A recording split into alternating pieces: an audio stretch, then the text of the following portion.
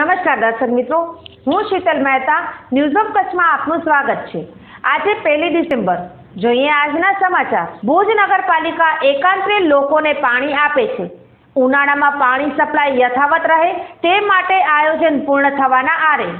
ભુજમાં એકાંતરે પાણી મળતું રહે તે માટે ભુજ નગરપાલિકા નિષ્ઠાપૂર્વકની કામગીરી કરે છે. અને નવા ટાંકાઓ એકાદ માસમાં કાર્યરત થઈ જતા આવનારા ઉનાળામાં પણ પાણી લોકોને નિયમિત મળતું રહેશે. તેમ નગરપતિ ઘનશ્યામ ઠક્કરે જણાવ્યું.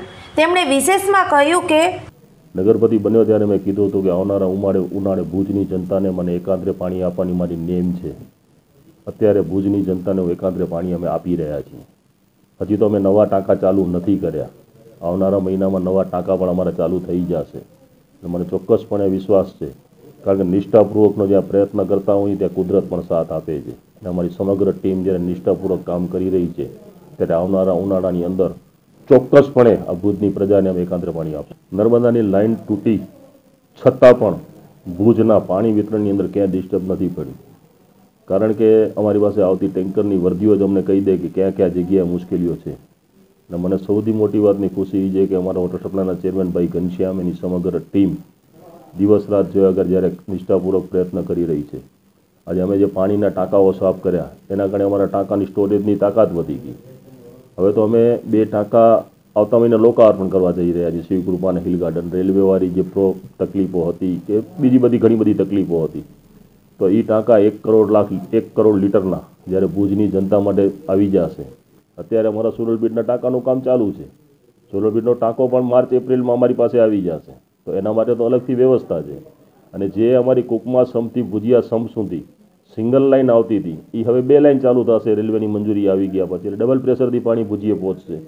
અને ભુજિયા ઉપર જે સુરલપીડવાળા વિસ્તારનો લોડ છે એ લોડ તમે નવા ટાંકામાં ડાયવર્ટ થઈ ગયા છે. એટલે ભુજિયા ઉપર લોડ ગોતી ગયા છે. અત્યારે ભુજિયા ટાંકા મારું પમ્પિંગ સ્ટેશનનું કામ પૂરજોશમાં ચાલુ છે કે ભુજિયાથી અમે શિવકૃપાનગર પાણી લઈ જઈએ અને શિવકૃપાથી હિલ ગાર્ડન લઈ જઈએ.